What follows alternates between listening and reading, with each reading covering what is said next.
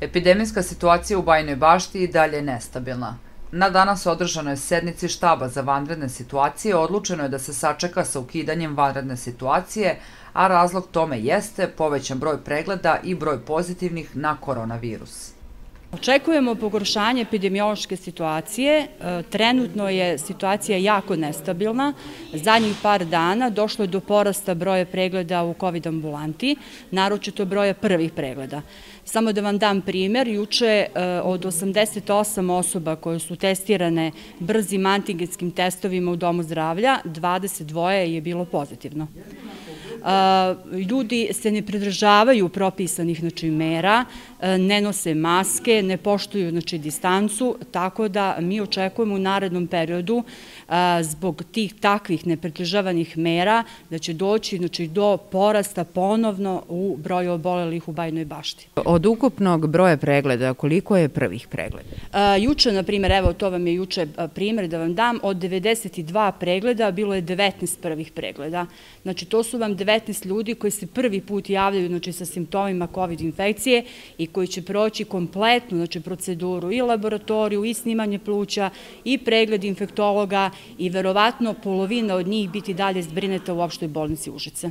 Uglavnom su srednje teške i teške kliničke slike. E, mladi ljudi koji obole prođu sa blažom kliničkom slikom, znači uglavnom simptomima neke E, infekcije gornjih respiratornih puteva, ali zato e, stariji ljudi, naročito koji imaju e, komorbiditet, znači još neke pridružene bolesti, diabetes, gojaznost, hipertenzija, razne obolenja srca, oni uglavnom idu sa teškom i srednje teškom kliničkom slikom i nalaze se uglavnom, znači završe na hospitalizaciji u Užičkoj bolnici. Koliko vremena je prošlo od kako je iz COVID sistema izašla bolnica i dnevna bolnica? COVID bolnica e, znači e, i dnevna bolnica e, izašla je pre dve nedelje. Za ovo to vreme se primaju znači, pacijenti koji su COVID znači, negativni. Znači, uslov glavni za primanje pacijenata u stacionar, znači da je pacijent antigenski negativan. Imate li podatak koliko ljudi sa teritorije opštine Bajne Bašta se nalazi u Užičkoj bolnici? U Užičkoj bolnici e, tačan podatak nemamo jer se bukvalno menja znači iz dan u dan, ali nekih desetak do 15 ljudi znači leže iz Bajne Bašte u Užičkoj bolnici. Mi smo danas odlučivali o tome da li da ukinemo vanrednu situaciju na teritoriji naše opštine, ali a, kako smo uzeli sve u obzir i ovaj praznik u trajanju četiri dana, i kretanje ljudi, putnika, turista, mnogo i naših sugrađana otišlo van Bajne bašte, e, Tara je bila izuzetno posećena, bilo je dosta ljudi sa strane. E, odlučili smo da sačekamo još malo, da vidimo kakav će trend biti što se tiče covid da li će se broj pozitivnih lica povećati.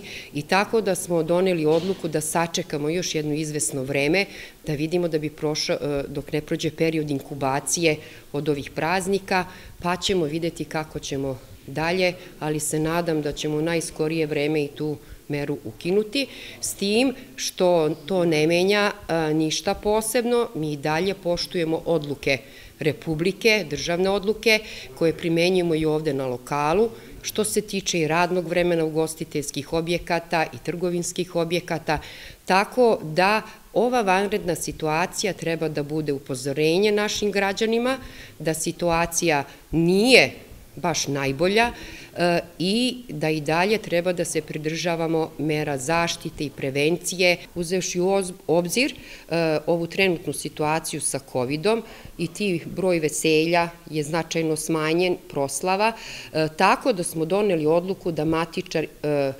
samo u prostorijama Skupštine opštine venčava mlade bračne parove i da nema potrebe u ovoj situaciji da izlazi na teren ili da van opštinske zgrade vrši svoju delatnost.